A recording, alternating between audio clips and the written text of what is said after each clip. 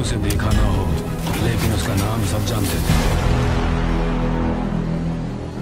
Rocky